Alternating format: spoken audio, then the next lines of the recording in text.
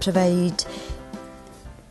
high secure care and treatment for mentally disordered offenders for Scotland and Northern Ireland. And then I got an opportunity when I was speaking to one of the staff from VDS to talk about the investing in volunteering and they had said that they were supporting a couple of boards and I thought it was an ideal opportunity for us to build on the work that we had already done so that's how we started.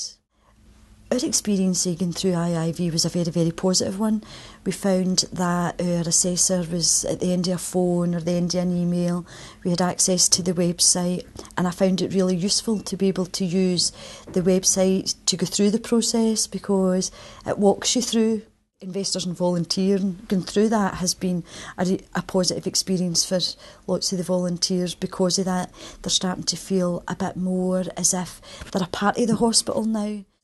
um, we had an awards ceremony here and staff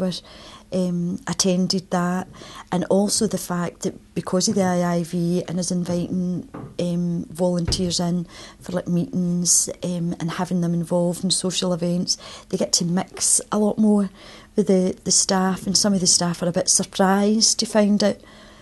oh you're a volunteer and what is it that you do? So and our volunteers are really our best advertisement in relation to how they engage with the staff and can talk to them about what it is that they do and, and then it's that sort of two-way process because staff then start to tell them about what it is that they do. Our volunteers are a group, a group of really altruistic people who really um, want to make a difference for a, a group of people who they see as disadvantaged and, and really quite vulnerable. People will volunteer, you know, for elderly people, for,